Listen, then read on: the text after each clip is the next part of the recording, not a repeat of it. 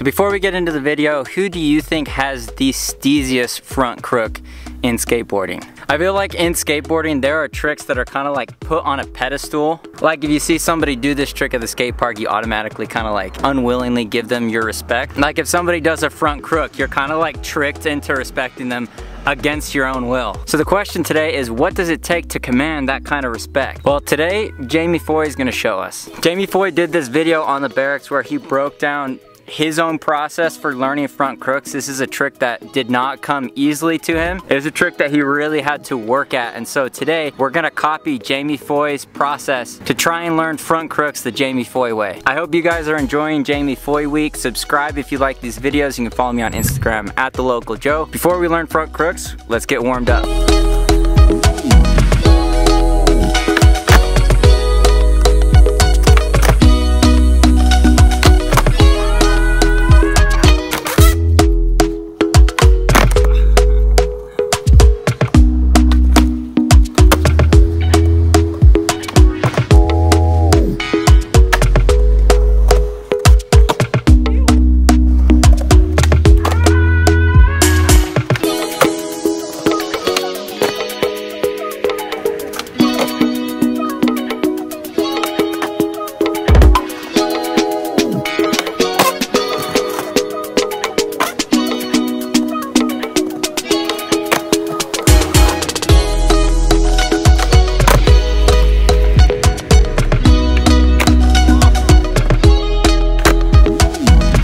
This is a video that I actually tried to film about three months ago, but I ended up getting smoked, like just stuck on the ledge and then fell straight to my back and I decided that I would wait a few months before I try to tackle this one again. But hopefully this goes better this time around. So step one to learning front crooks is just to learn what the pinch feels like. So Jamie Foy just talks about standing on the ledge in that pinch position with the front crook and just getting the muscle memory down for what that feels like to give you kind of the end goal of what you're ollieing into. All I would do is stand next to the ledge, not moving. I figured like learning how to hold it first is the important part. I put my board into a front crook, stand on it, figure out where like you put pressure on your toe, and just like when you're standing in the front crook, balancing on a ledge, you kind of just feel how it locks. So it's like you kind of like that's all skating is muscle memory. So once you feel get that feeling, you're like, all right, now I just need to imitate that going somewhere. Step two is just to wax the ledge until you hate yourself wax the hell out the ledge. I wax, I wax the ledge a lot. When you're trying to learn a, a trick like a front crook and you want to hold it, friction is not your friend.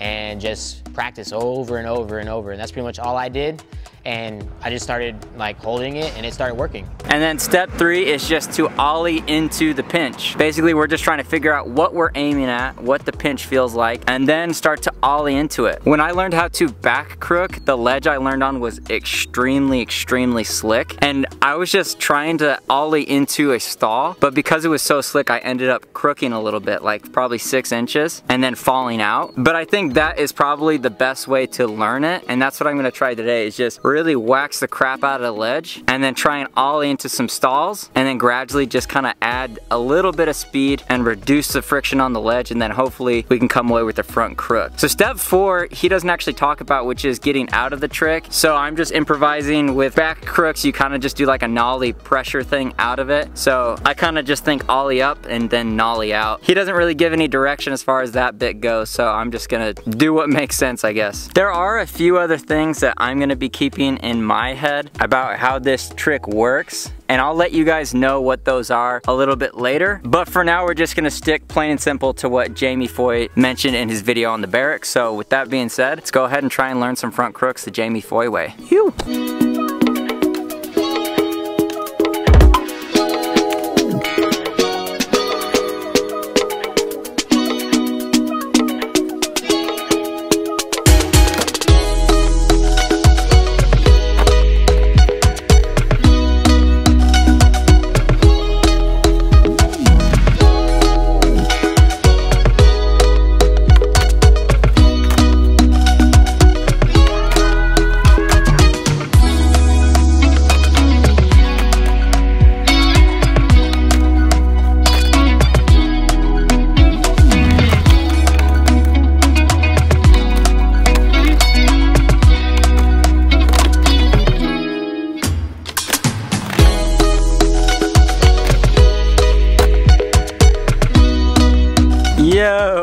First front crook ever. That was beast. So happy with that. I mean, obviously it was like really slow, but because it was slow, you could see that I was pinching it the proper way. And somehow, luckily, I just was able to pop out at the end. And honestly, I was surprised that my board was underneath me. I feel like I'm getting the hang of this trick, but I wanna do five more on that ledge and then see if I can do it on the bigger ledge. So yeah, let's see if we can do it. You.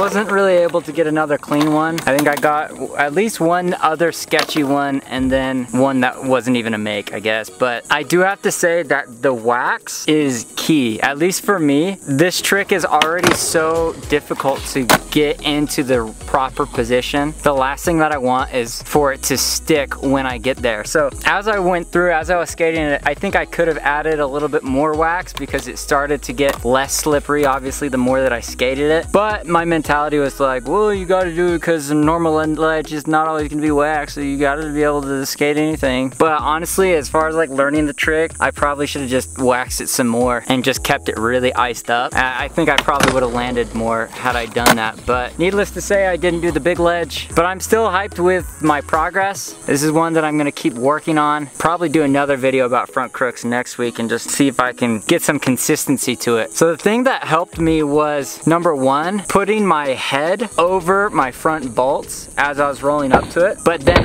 only jumping up with my back foot. That combination of putting your head over the front truck, but then jumping with your back foot helps pop you right into the perfect position. Then from there, the thing that I struggled with was keeping my head inside the ledge. So if you go on top of the ledge, if your head goes over and is floating above the ledge, you're just gonna end up shooting out. You're gonna lose the pinch. And so there's this area where your head needs to go. It's kind of like over your heel or just behind like where your heel is, kind of like up in that area. But basically keeping your weight on the inside of the ledge and pressuring with your toe. That's what I kept thinking about. And each time that I was able to do that correctly, it worked for me. I was able to get in there and slide. And then from there, it's just a matter of nollieing out. Honestly, I think getting out of the trick is not too hard. It's just I need the rep getting into it so that I can start to focus on getting out of it. But I really think that the keys for me was head over the front foot, jump up off of your back foot, keep your head on the inside of the ledge, and then pressure with the toe. I know that's like four things, and that's why I was having such a hard time because it, it's it's kind of a complicated trick. You kind of have to teach yourself to do four things at once. So this is definitely gonna take some time for me to master, but I do think that we're on the right track. If you're somebody that already knows how to front crook and you have some insight into what helped you learn it, drop it in the comments below so I can read it and so everybody that was watching this can learn from your mistakes and hopefully figure out this trick. I feel like the one that I did do though was pretty pinched and that was the whole goal of the video was Jamie Foy taught me how to pinch front crooks. I wouldn't say I have it mastered, but I do think that I'm well on my way to figuring it out. So I hope you guys are enjoying Jamie Foy week. Drop it in the comments below what kind of Jamie Foy video you would like to see me do. And I want to keep on doing series like this of you know, a, a, week dedicated to products and things about one specific skater. So drop it in the comments below who you would like to see me do a week of videos about. So hopefully that video was enjoyable for you and hopefully we can get those front crooks on lock. So if you like these videos, subscribe. You can follow me on Instagram at the local Joe. Remember to make every single day a Friday. New shirts coming on Monday and I will see you guys in the next video. Peace.